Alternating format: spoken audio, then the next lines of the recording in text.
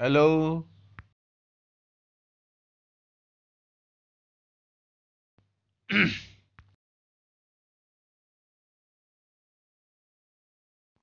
नमस्कार।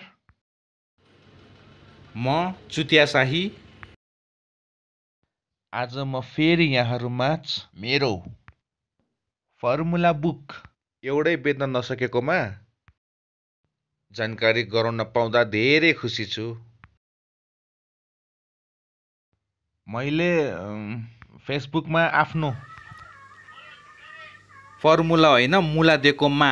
यहाँहरू माझ तपाईँहरूलाई उल्लु बनाए। ब्याच भनेको मा मेरो स्टाइल फोकटे नाटक गरेर यहाँहरू माझ पैसा ठगिसकेको छु र अर्को कुरा मलाई नेपाली दर्शक श्रोताहरूले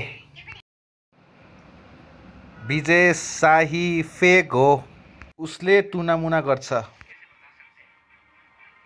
उसको जादु हो भनेर मलाई दुःख लागेको छैन। किनभने एक दिन विजय शाही ठग हो भने प्रमाणित हुन्छ। किनकि डिभाइन पावर हो। जब अन्तर्राष्ट्रिय मान्छे त्यसमाथि पनि चार पटक युएसए गफाडी च्याम्पियन। नेल्सन डेली सरले मलाई मुर्गा बनाउने अवसर दिनुभएको थियो। तर मैले त्यो खैरेलाई छिनछिनमा ख्वाको खुवाई गर्न खोज्या।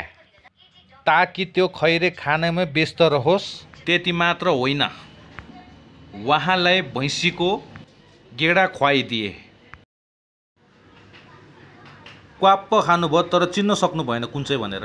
मासु हुनसक्छ अरे दुई दिनको बासी हुनसक्छ वा कुनै उपकरण युज गरेको हुनसक्छ या कसैसँग मासु मागेर ल्याएको हुनसक्छ जस्ता विभिन्न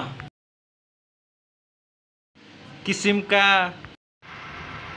आरोप प्रत्यारोप लगाउनु भएको थियो। उहाँ सरले र उहाँले मेरो अगाडि नाटक हेर्नु पर्यो भन्नुभएको थियो।